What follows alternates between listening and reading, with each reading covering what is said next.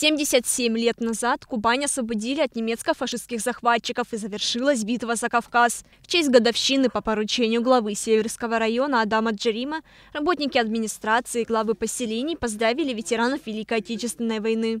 В поселке Афипский поблагодарили за подвиг трех фронтовиков. Первым поздравление принял Александр Алексеевич Селиванов. Он награжден большим количеством медалей и орденов. Кравченко Таисия Ивановна в годы Великой Отечественной войны служила оружейницей. Мы свою родину всегда будем любить, потому что я еще девчонкой была. Адам Шахметович статью только написал. Оружейница Тая. Вот эта оружейница Тая давала много сил и молодость. Веробян Владимир Айказович воевал рядовым на Первом Белорусском фронте. Награжден орденом Отечественной войны второй степени, медалями за победу над Германией и другими. В этот день ветераны получили цветы и памятные подарки, а в их честь музыканты исполнили фронтовые песни под сопровождение гитары и баяна. Эстафету поздравлений приняли герои войны поселка Черноморского. Мишарин Николай Петрович на протяжении пяти месяцев выполнял функции разведчика – Обнаружил, обезоружил немца и привел на допрос. В честь праздника Желенков Николай Васильевич надел все свои медали и ордена. По ним можно прочитать его боевой путь. Свою благодарность ветеранам выразила глава поселка Наталья Мовчан.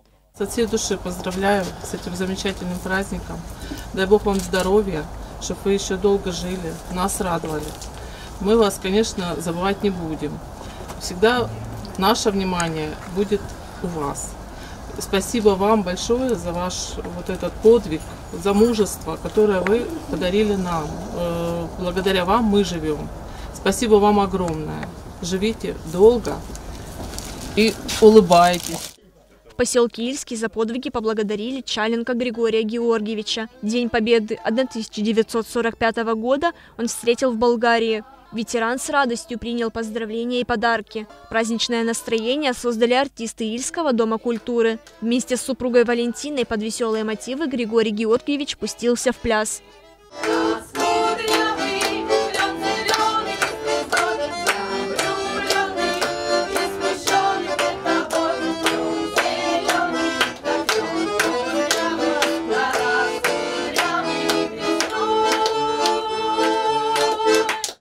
В годы войны Чернуха Петр Иванович служил зенитчиком и охранял небо Азербайджана. С освобождением Краснодарского края от фашистов его поздравил глава Ильского городского поселения Николай Головко.